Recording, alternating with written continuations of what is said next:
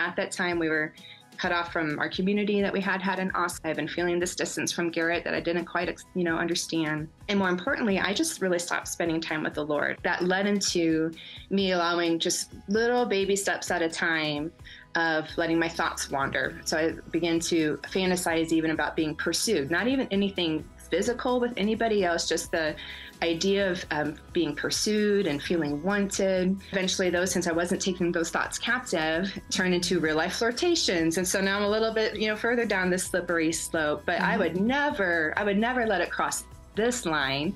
Uh, my dad had an affair when I was a child, so I would never, you know, go so far as he did, right? Mm. Like I wouldn't do such things.